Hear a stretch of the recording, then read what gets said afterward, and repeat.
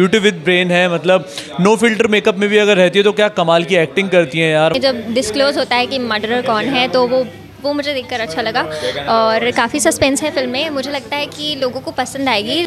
और एक हट के फ़िल्म है और इसको ज़रूर देखना चाहिए। फ़िल्म में मैसेज है तो आके देखना चाहिए क्योंकि ड्रग्स के बारे किस तरह से दिखाया किस तरह से युवा जो है कि आज नशे की लत में घुस जाते हैं। तो उसको लेकर मतलब एक मैसेज है ये।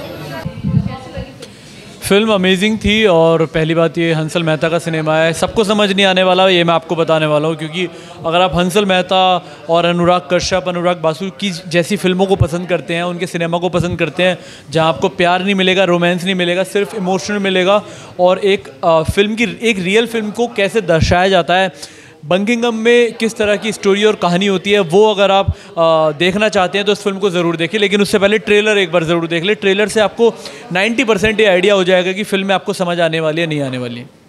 बेबो इज़ बेबो मतलब no makeup no filter look में भी करीना की एक्टिंग क्या होती है? मतलब ब्यूटी विद ब्रेन जिसको हम टाइटल देते हैं, अगर किसी को देते हैं तो वो करीना उनमें से एक है। ब्यूटी विद ब्रेन है मतलब नो फ़िल्टर मेकअप में भी अगर रहती है तो क्या कमाल की एक्टिंग करती हैं यार। मतलब कोई भी किरदार करवा लो रोमांस हो कॉमेडी हो सस्पेंस हो थ्रिल हो, और इस तरीके का किरदार सब किरदारों में डाल मतलब छा जाती हैं। ऑफकोर्स थ्री बहुत अच्छी थी लगी।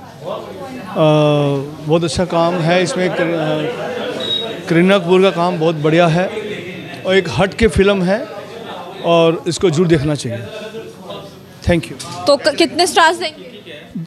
जी इसमें मैक्सिमम है क्योंकि इस तरह की फ़िल्म बहुत समय बाद देखने को मिली है और वाकई ही बहुत अच्छा अभिनय सभी का रहा है। अच्छी लगी मैम फ़िल्म? मुझे फ़र्स्ट हाफ़ में फ़िल्म थोड़ी स्लो लगी थी लेकिन सेकंड हाफ़ में जब डिस्क्लोज होता है कि मर्डरर कौन है तो वो वो मुझे देखकर अच्छा लगा।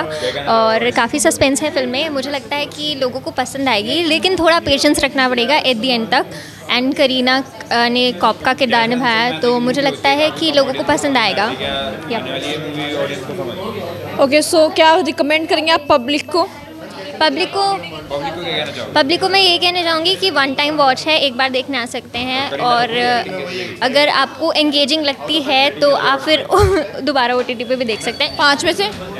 पाँच में से चार स्टार्स ठीक है अच्छा है क्योंकि मैंने सेकंड हाफ़ देखा है फ़र्स्ट हाफ़ थोड़ा पूरा नहीं देख पाया मैं तो इसीलिए।